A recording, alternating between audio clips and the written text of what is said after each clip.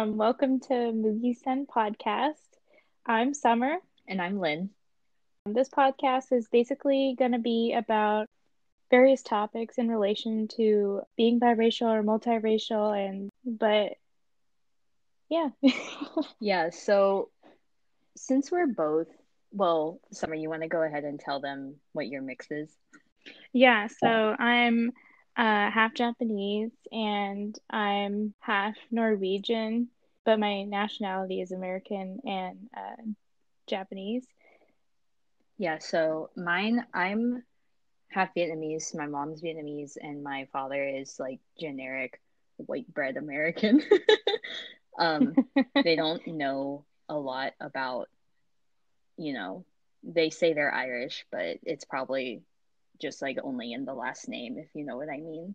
That's how a lot of yeah. um, white Americans that say they're Irish end up being, unless they're like really sure about their heritage.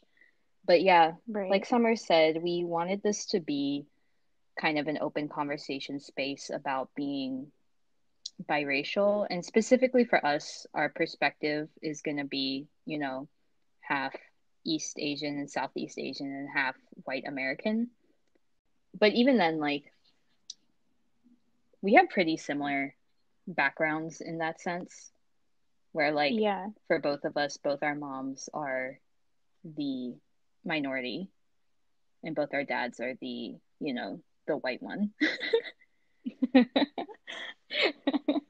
and yeah exactly we had we both had like the privilege of growing up somewhere pretty diverse mm-hmm. and stuff like that but we also have I would say pretty under the surface level, pretty big differences. Like uh, you lived in Japan for a while, right?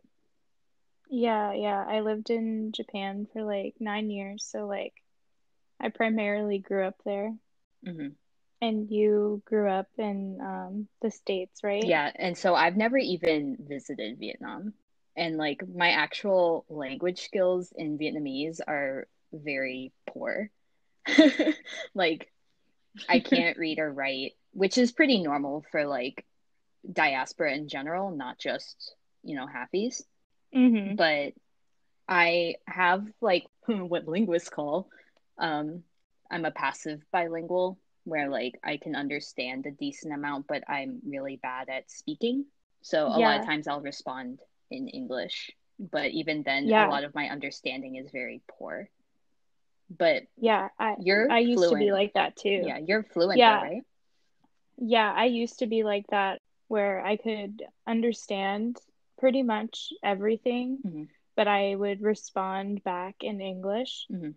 I've become fluent like over the years, and like I took um, I majored in one of my majors. yeah, I was Jap uh, was Japanese in college, mm-hmm. so I was able to. But yeah, learn a lot more about it and speak it better mm-hmm. um, which I really I'm glad I had that opportunity to do that.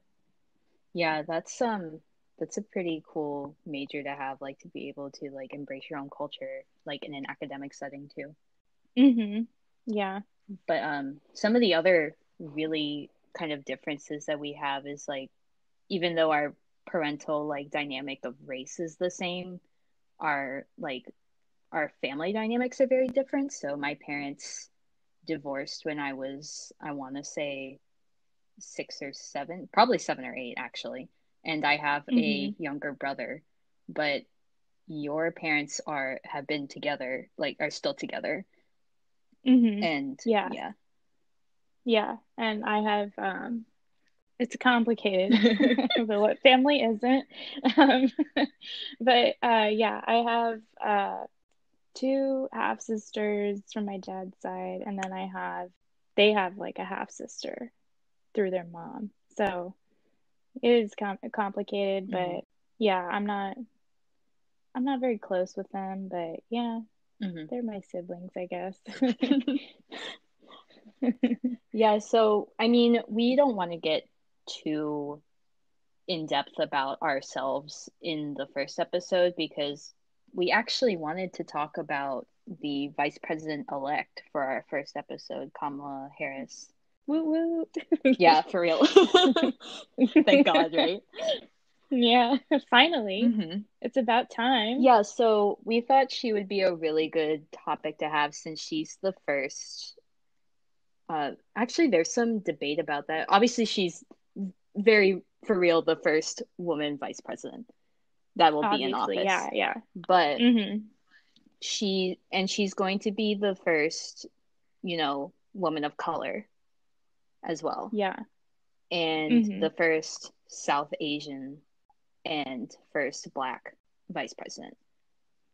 Yeah. I remember reading somewhere that she might not be the first person of color as the vice president, though there was oh, some. oh, really? Yeah, I read somewhere that someone was saying that there was actually one of the, you know, many men that were vice president in past years that he was, I think, half indigenous, but it wasn't public or something. I don't quote me on that. I Oh, think I saw that okay. somewhere.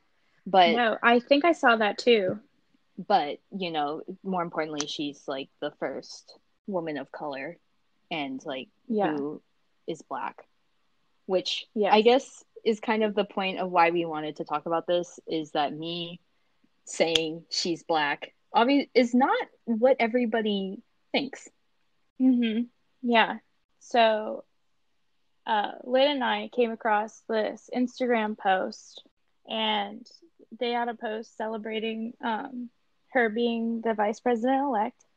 And so the first image said, uh, for the first time in American history, um, a ticket with a woman on it has won. Um, and then the second one, the second photo after that was, and this person said, she's not black though, about Kamala. Mhm. And this is like, quote, she's not black though. And then the person, then a person replied to her and they said she is half black and half Indian. So, yes, she is black and yes, she is Indian. And like, there were just like a lot of comments debating about yeah her identity essentially. yeah so i read on her wikipedia page that she's half black by like her dad was from british jamaica and her mom Mhm. is south asian from i think tamil nadu i'm probably saying that terribly wrong but she's from that area of india. Hmm and yeah so a lot of people and i've actually seen this not just with vice president elect harris. I've seen this Yeah. a lot with other people who are biracial and one of their races is black. And obviously neither of us are half black or half south asian so this is not our area of expertise but hmm Yeah. I've seen that a lot where they say, "Oh, they're not black; they're biracial." Yeah. Or Um, I saw some other comments on that same thread when you sent it to me saying, "She's the first woman of color; she's not black." yeah. hmm But another interesting thing I've seen is everyone in the media says this is the first black vice president, and they Yeah. don't mention that she's South Asian.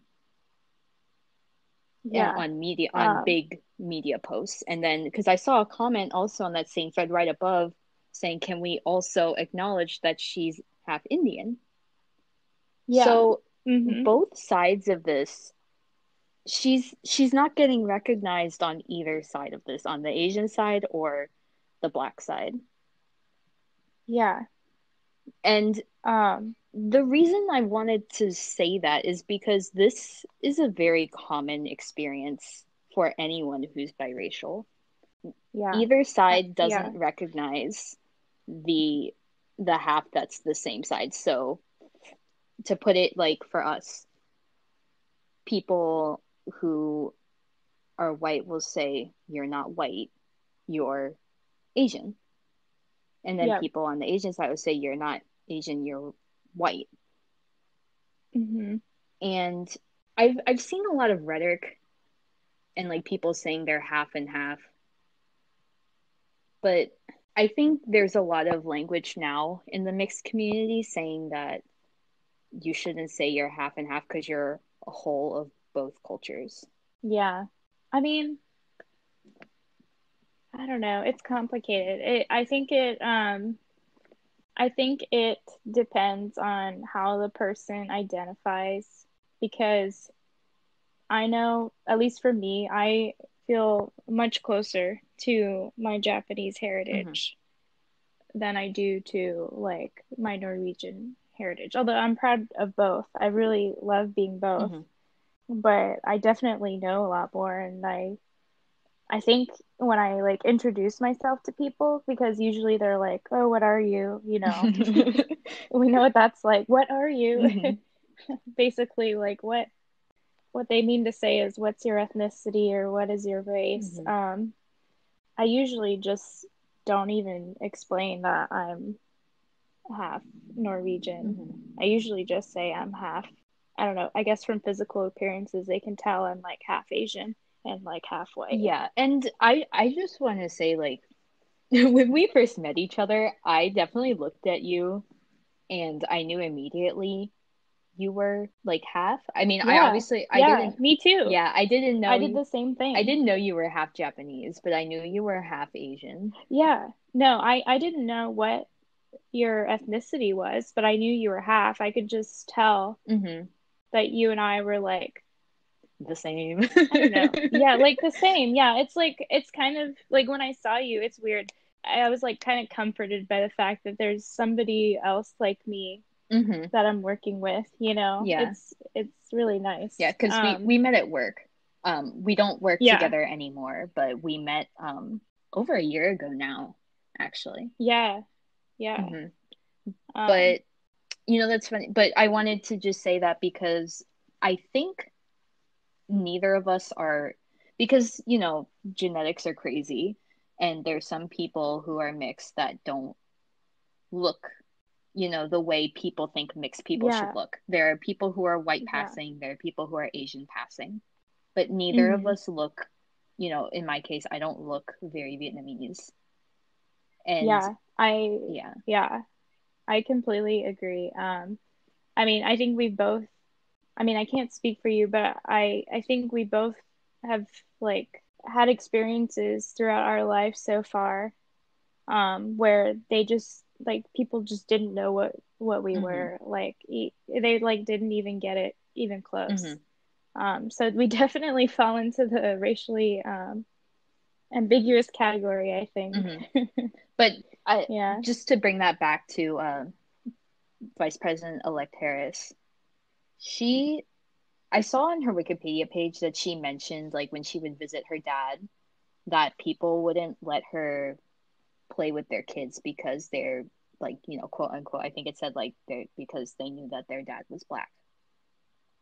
Mm. And my perception of her is when I first look at her, I would not be able to tell that she was half South Asian. I yeah. I think she's and she's obviously not white passing. No. And so I would have seen her like my first instinct was that she was, you know, a light-skinned black woman. Before I yeah. before, you know, everyone was getting really hyped that in the mixed community that she was mixed. Yeah. And I think that actually plays a lot into why people say she's not black. And yeah. from what I understand, I don't want to say that they're right in saying that she's not black because, in my opinion, she is black. Because that's from our experience, that's how we feel. We're not, you know, we're not not Asian. We are Asian. Yeah. Exactly. But I think there's a lot of history, especially in the United States, where, you know, like the one drop rule is like a really racist institution. And I think that's people fighting back on that and saying like that certain people past a certain heritage aren't actually black and people who aren't fully black don't ex- have the full black experience or stuff like that. This is like rhetoric I've seen online. This is not what I think. But mm-hmm. I can kind of understand why people would say that. What do you what do you think? Uh why people would say she's not yeah. black? Yeah, so my first reaction to people saying, "Oh, she's not black, she's biracial," I was like, "Oh, I don't know." It's those are not two separate would, things. Yeah, it would.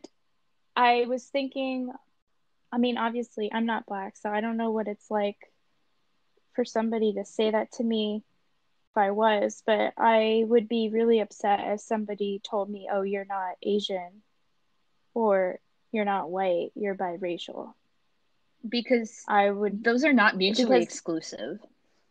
no, it's it's just it's just like what we were talking about earlier. We were saying that we're two wholes, Mhm. not two halves. hmm and we i don't know it's just it was it was like really irritating to me because it seems like i mean she that's how she identifies i was rereading the comments though after like i read it for the first time Mhm. and i was thinking maybe there like some people are saying she's biracial because not only is she black but she's also asian Mhm. I was thinking maybe that's why they were saying that she's biracial, just not to like maybe not to forget that her other um heritage. Yeah. But I don't know. It's really hard to interpret comments because you don't it's just like when you read a text, you don't know how it's said, Mhm. like what they meant to say, like in what tone and stuff. Mhm. So um we can only go so far with these comments that we read on this one post, Mhm. but um, you know, I'm just like trying to play devil's ad- advocate. Maybe not all of them were like trying to take away from her identity, but just also trying to uh, recognize her other identity as well. Yeah, so I honestly I buy that because she's you know, not like us, we're both mixed with white, which is a very different experience than uh Vice President elect Harris because she's both of her halves are minorities. And Mhm. she's neither of us are dark skinned, like let's be real. We're Yeah, both like pretty light skinned. Um Yeah, like really, really like white, pink, mhm. hints of yellow. yeah. So we are never gonna have that kind of experience that, you know, she had, Mhm. even um because she's, you know, she's not extremely dark skinned, but she's not we're definitely lighter skinned than her. And Yeah, like we're definitely like like you said, she is not white passing. Mhm. So I think I would even go as far to say people saying she's biracial or a woman or just saying she's a woman of color is trying to be inclusive of both her Yeah. halves, which I can which I would buy because a lot of people are very excited that she's um that she's black, right? hmm But I haven't I've only seen other Asians get excited that she's also half Asian. A lot of, Yeah. but I think that also has to do with like the current political climate where um it is really important that someone who's black is in office now. So I can kind of understand why it's not getting as much attention from mainstream media that she's also half Indian. hmm But I mean, there's still that erasure factor that they're not saying that she's half Indian, so that representation is getting, you know, downplayed. Yeah. Yeah. Um, and yeah, I mean, I understand why they're focusing on one of the two of her races, Mhm. but um, I I don't know. I do hope that over the years that they do become better about it and try to, I don't know, like just Bring it to light. yeah, bring it to light because I even I didn't know until I really looked into it that she was biracial. hmm I Um, I think another thing is that what's, you know, what really spoke to me was that, you know, her parents divorced when she was young, and what mhm. she lived, from what I understand, she lived with her mom and like visited her dad. So Mhm. in a way, she was definitely more exposed to her, you know, her South Asian side because Yeah. she lived with her mom, right? And Yeah. so I have that similar experience where I was like definitely more exposed to my Vietnamese side. I after my parents, you know, separated, they I didn't hang out with like the cousins on my dad's side or anything, also because they're way older and like none of them are my age. So, yeah. If we have that shared, you know, um, experience, she's definitely more influenced culturally by her Asian side. Mm-hmm. And I feel like that's that's an interesting thing to have where people aren't exactly recognizing that part of her. Yeah. Because I I have a similar kind of experience where um out of all my cousins I'm the only one who's not full Vietnamese on that side. Mm-hmm. So it's very it's very obvious, you know, when we're all uh, together and I haven't met many other people who are mixed Vietnamese. And yeah. something else, like I've really only met in our generation, it's much more common now for people our age who are having kids um, to have to be mixed, right? Yeah. And I think that has to do with like culture and history, obviously, because I I've heard of more people being maybe on the West Coast, not on the East Coast where we are, but there's definitely more people who are mixed with Japanese than there are Vietnamese in our age group. Mm-hmm. Yeah. So being and then her being a public figure having the side that she grew up with kind of pushed under the rug or even like denied it's pretty it's pretty sad. Like because i have that same experience where you grow up with one side you don't interact with the other side that much. So like because earlier when you said you identify as like half japanese yeah. when people ask me i actually just say like i'm vietnamese because mm-hmm. i didn't grow up with like that much of that influence yeah so and then of course people like pry further like you don't look vietnamese and it's like oh yeah it, i'm half like my mom's vietnamese but yeah. i usually just like just to also be quick, but also because that's how I feel. I usually just say mm-hmm. that I'm Vietnamese. Yeah. And then people saying like, "Oh, but you're only half." And like denying yeah. the fact that I grew up with my Vietnamese mom. Yeah. You know, so I I th- I feel like it's kind of sad that she grew up from there and then people she's people aren't recognizing that you know she's also half asian but then the side that people recognize there are people on her own side also denying that she's black yeah i i feel like I, she can't win no she can't and i think you and i know that we can't win um i mean you and i have experienced that too we just mm-hmm. can't win with our of course not with everyone there are a lot of people who are accepting um but mm-hmm. and like not even just accepting like they just see us as who we are mm-hmm.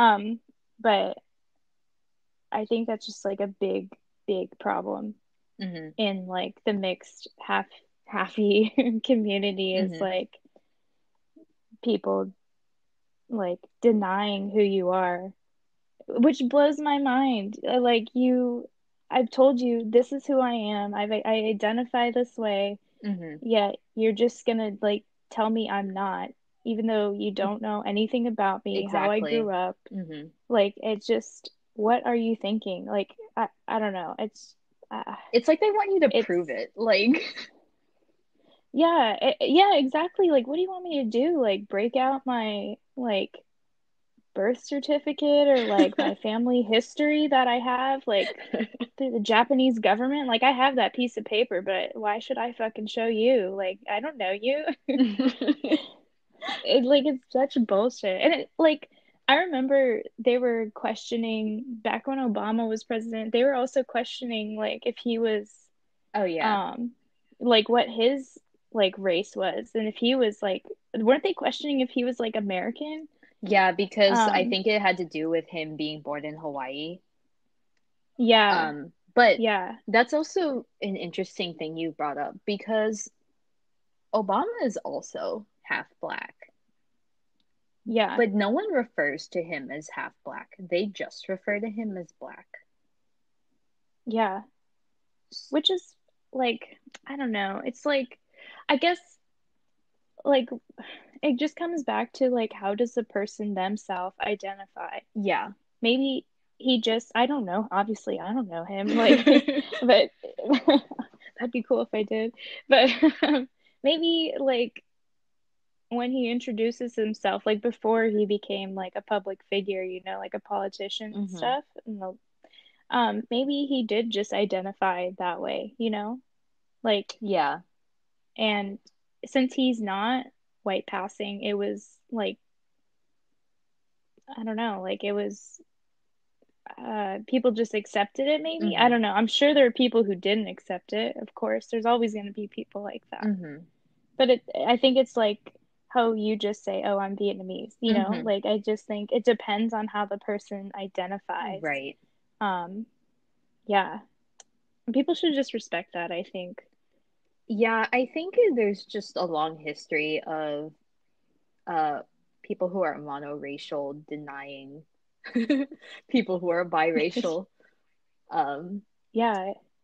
denying the fact that Um, they exist by erasing their identity or reducing Yeah. their identity to one half when they obvious when if they're you know like you where they identify Mhm. as with both mhm. and they reduce you to usually what the side that they are not is so like some Yeah. like if you're you know your white relatives were like oh but you're you're japanese um Mhm. even though you identify with both so i think that that happens i don't know how the next generation's going to be but i know at least for our generation so like uh the cusp of millennial and gen z Mhm. there's still a lot of that that happens like you know erasing mixed people's identity Oh, yeah. Yeah. Absolutely. It's just yeah, I I don't know. It's sad. Um it's it is sad and you know it's it's something that takes a lot of time and i guess over time that's gonna get better for like younger people who are um, multiracial yeah. but definitely for people older than us and our age Yeah. it's still kind of a hard topic for people to wrap their head around Yeah, I mean, it's I'm not gonna lie, it's it's complicated. It's a complicated topic. Being like multiracial, biracial, it's complicated. It's not Mhm. easy. Mhm. Um, and I don't know. It's just I I'd like to I'd like to of course once we like get going with this podcast a bit more, I'd like to interview and ask um, other biracial people and monoracial people questions about what they think. Oh yeah definitely. you know like for example this topic you know i i would like to know what people think. Yeah if anyone um, listening to this who's you know black or also biracial and half black wants to like Yeah. let us know like we'd love to like listen to it and talk about it because since neither of us are are half black we don't really know the weight that that carries so that would be Yeah. really awesome if anyone comes across this and wants to talk to us about that yeah since we can't speak on it it's um we really want to learn about it more because maybe we're just like completely off the mark about this you know? I hope Um, not. I don't know. I hope not either. I mean we can only speak from like being biracial Mhm. but um i don't know. It's just interesting to see what um these different people are saying in the comments. Some are really fucking rude though. I'm not gonna lie. Yeah some of them were pretty rude. I think um like just objectively like rude.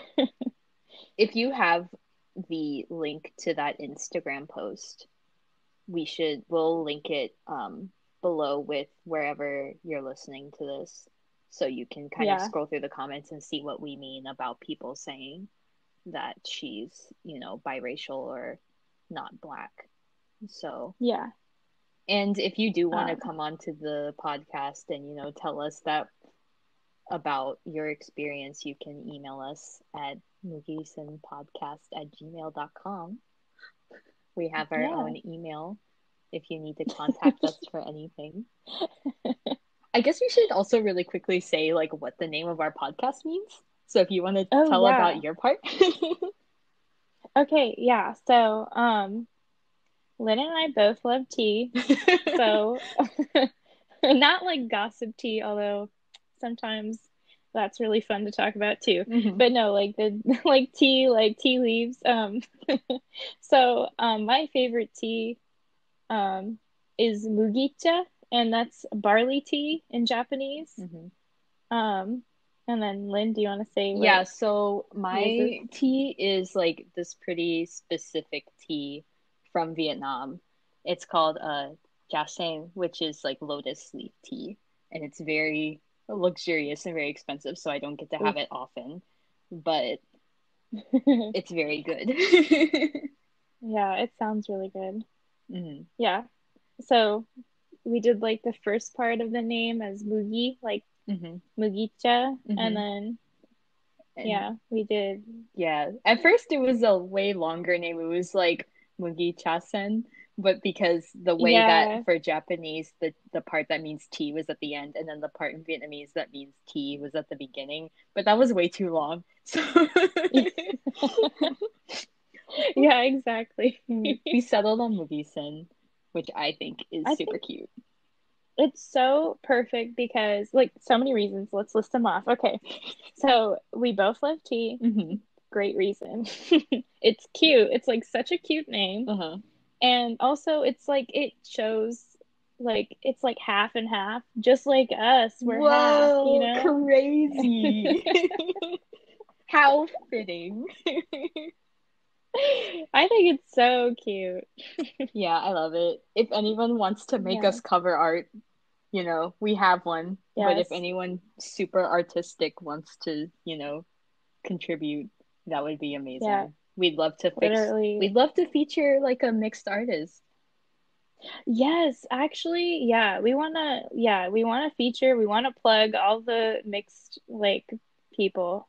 Mm-hmm. So, try to I don't know, send us send us like some cover if Interact anybody with wants us. to do that. Yes, please. So if you guys Yeah. have any thoughts on this topic, if you want to contribute your thoughts, let us know. We'll have like a little Yeah. session in the next podcast to uh, talk about, you know, answer questions or talk about your thoughts if you just send us an email. So, Yeah. and we have a lot of topics lined up that we want to talk about already, but if you also have suggestions, please let us know Yes. or if you want us to talk about anything specific. But we'll catch you guys next time.